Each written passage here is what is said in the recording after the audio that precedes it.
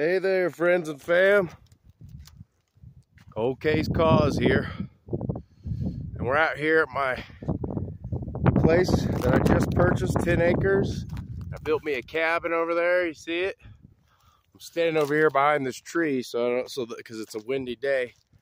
But I just want to say I apologize for being distant and not making a follow-up video to the Ian O'Brien case. Um, Ian was found September 2nd uh, in the West Mancos River, as I predicted, um, by fishermen. So, uh, fishermen uh, found his remains, uh, pulled him up out of the river, and then went and called the authorities who recovered Ian's body. Hallelujah. Blessings to God. So, um, I'm super happy that Ian was returned. His remains were found and his family can have closure. Um, that being said, I, I, have I've been a little bummed out lately because me and the dogs we put in so much work uh, on that, and uh, I'm I'm not. You guys are not going to believe this, but literally the area where he was found was next up on our list of areas to search. So we were coming down the river and we cleared the whole upper part. We were working down, and where he was found was literally where right past where we just stopped. So we were this close to uh, a big recovery, but that's how the ball bounces. Um, but I just want to let y'all know I've been real sick lately. I don't know if I got COVID or the flu or what, but uh, I've been laid up for the last two weeks, and even now I'm not feeling well, but I'm getting better. So um, that's why I sound weird. Um, but I just want to say blessings to all Ian's friends and family. And um, I read the comments all you guys had posted about uh, the searches we had done, the very kind comments, and um, it, it uh, invigorated me to come out here and keep, get back in the get back on the saddle and keep this thing going. So um, I think I'm going to go back to the same area and look for David Lunde. And uh, David Lunde was actually a friend of mine. Well, not really a friend, but like a business acquaintance at the James Ranch. Um, I used to sell him firewood every winter. I used to cut firewood and I'd sell him oak and he'd use the oak to cook with there at the James Ranch restaurant. And um, I actually knew him pretty good, man. He was a cool dude, and I would come to deliver wood, and he'd help me stack it, and we'd chat, you know, and BS. And um, I haven't seen him, you know, in years since when he since when he, he went missing. But um, it's kind of a personal thing. So uh, I'm gonna pick up in La Plata Canyon. That's gonna be our next search, and we're gonna go hit the trail where David Lunde. Um, supposedly took the trail up uh, to up in the La Plata Mountains, and um, it would be the backside of where Ian O'Brien disappeared. So it's the same mountain, Mount Hesperus, just on the other side. So it's a strange mountain because uh, there have been several deaths up there and disappearances. So um, fingers crossed, we're gonna. I got to get the team back ready, and uh, we're gonna hit it hard here coming up soon because the snow's coming quick and uh, supposedly we're supposed to get an early winter this year. So um, I just want to thank y'all again, man. I got I haven't checked my comments in so long. I just been so bummed out and sick and just man when I I mean when I uh, heard that uh, Ian O'Brien was found, I was so happy, but it was like melancholy. I was super happy, but I was so bummed out because we had worked so hard. Me and the dogs put in so many hours and uh, we were that close to to our biggest recovery ever. I knew I was going to find him, and uh, some fishermen found him. But regardless, he's been found. Okay, so I, I take that. You know, um, I wear my heart on my sleeve when it comes to that, and uh, I'm just glad he was returned. So blessings to all Ian's friends and family, and I get a little emotional because uh, I get so emotionally invested with the work and the dogs and the cases and stuff. And, uh, you know, I talk to the missing people when I'm out there. I ask, hey, Ian, show me where you're at, brother. He gives me goosebumps. Look, you can see I got goosebumps. I I talk to the, to the missing and I say, show me, reveal yourself to me so I can return you to your family. So, um, but anyhow, you know, life bounces around and uh, it's been a little tough lately on me. And um, but I'm getting my daughter this weekend, and uh, it was her birthday. And you can check my page. I got her a little puppy for her birthday, and it was the sweetest, uh, reaction she had, she burst into tears, and, and that's on my short. So you can go check my short videos and see that. It's the most heartwarming video ever. And um, I've just been uh, getting my wheels going again and feeling good. And uh, I want to get back out there in the woods and try to bring closure to David Lunde's family since it's a personal thing. So, and after that, there was another fellow that just went missing actually on September 2nd when Ian O'Brien was found, another hunter went disappeared west of Purgatory.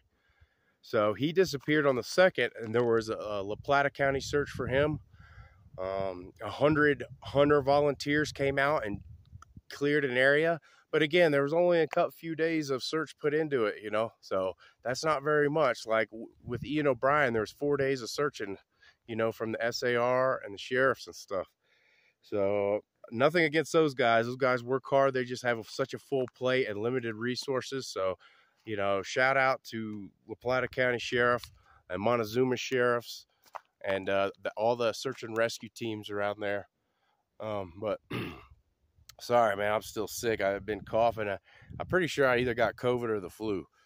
But um, thank y'all so much for watching. Just a few comments this morning that I read. I said I need to read the comments and get back to people. And it, I mean, I read it and I was in tears because of all your kind comments, and uh, and it just it, it invigorated me today. And I'm feeling better, and we're gonna hit this trail soon. So uh, I've been so busy because I've been working on this cabin right here. I bought this property out here, and I, that cabin, I've been working so hard on it. Then I got sick, but uh, I've moved in the cabin and uh, I built bunk beds in there for me and my daughter. My dogs are all hanging out, and um, but uh, it really feels like home out here. And one of the things that's probably making me sick is this is sagebrush, and it is blooming like crazy, and it smells amazing. But guess what? It causes hay fever, and uh, I think it's a combination of being sick. But look at these beautiful blooms on here. It smells amazing out here, but the smell is actually causes wicked hay fever if you have allergies. So uh, there's my snowmobile getting ready for winter. We're out here right on the border of Colorado and New Mexico. Literally, New Mexico is like five miles that way, south. And north is the La Plata Mountains. Straight that way, you can't see it through the trees. But that is the La Plata Mountains where Ian disappeared and David Lunde disappeared. So I'm literally like a 20 minute drive from 30 minute drive to the La Platas, which is shocking. So it's like, I feel this is my calling. I need to get up there and uh, try to find Mr. Lunde. So he was a good, really good guy. He had a lot of friends and family.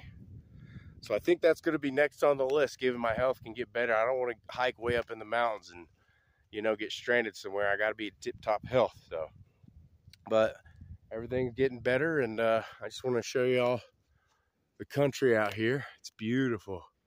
This is, we're up on a table mesa. This is actually considered Red Mesa, Colorado.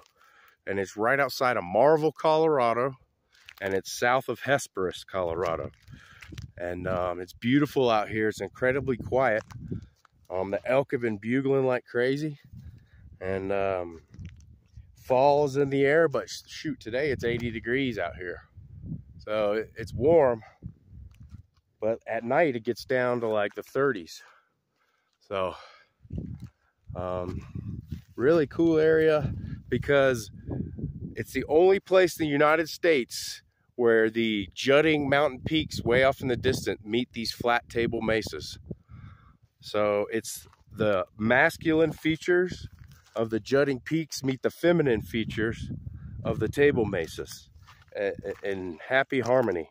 And it's the only place in the U.S. that does this. So I feel I'm in a special place here.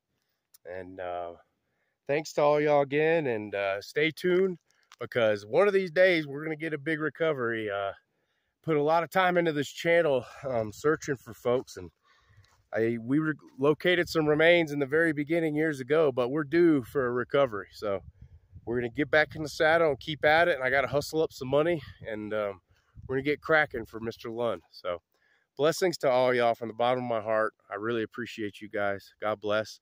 And uh, say a little prayer for all the missing. And uh, if you guys know of any cases around the U.S., I'll travel.